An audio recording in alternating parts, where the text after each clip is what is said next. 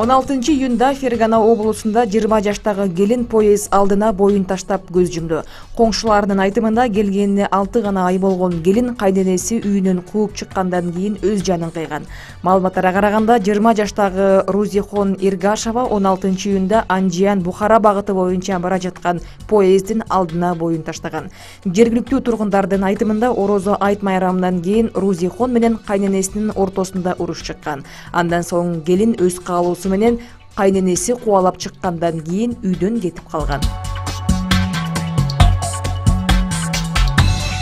ички иштер министри кашкар жунушалиев москва шаарында жол кырсыгынан жабыркаган адамдардан кабар алып ал акыбалын сурады. Бул тууралуу өкмөттүн басма сөз кызматы билдирди. Министр жабыркагандарга тез арада сакайып чыгууну каалап ыңгайлуу убакта кыргызстанга келип эс алып кетүүгө чакырды.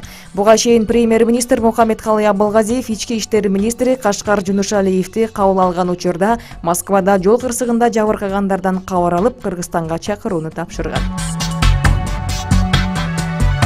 Быйыл бишкекте тамак аштан ууланган он үч учур катталды. Бул тууралуу мэриянын басма сөз кызматы билдирди. Үстүбүздөгү жылдын беш айынын ичинде он үч уулануу фактысы катталып эки жүз кырк беш адам жабыркаган. Алардын ичинен эки жүз он сегиз адам ала тоо ресторанындагы массалык уулануудан жапа чеккендер. Эки учур ботулизм боюнча андан үч адам жабыркаган.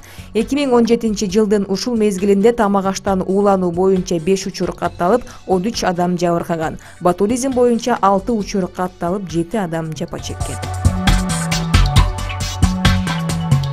ички иштер министрлигинин криминалдык милиция кызматы өз өлкөсүндө оор кылмыш үчүн эл аралык издөөдө жүргөн низомхон жураев аттуу тажикстандын жаранына кыргыз паспорту мыйзамсыз берилгендигин аныктады. Бул тууралуу министрлик билдирди.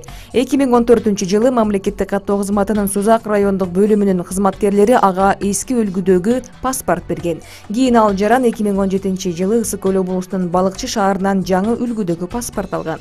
Жураев былтыр украинада кармалган ал кыргызстандын паспортун башка ат менен алгандыгы тергөөдө аныкталган ыкчам тергөө иштеринин натыйжасында он сегизинчи июнда мамлекеттик каттоо кызматынын сузактагы бөлүмүнүн башка адиси кармалып убактылуу кармоо жайына киргизилген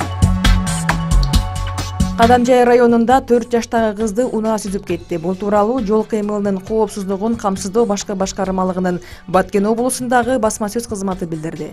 Маалыматтарга караганда окуя кечээ күнү кечки саат алтылар чамасында кадамжай районунун таш төбө айылында болгон. Анда төрт жашар кыз жолго чуркап чыгып өтүп бара жаткан унаага урунуп алган.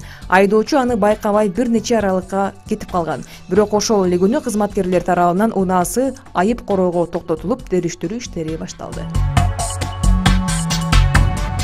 интернет сайттарынан алынган маалыматтардын маани маңызына ош тв телеканалы жооп бербейт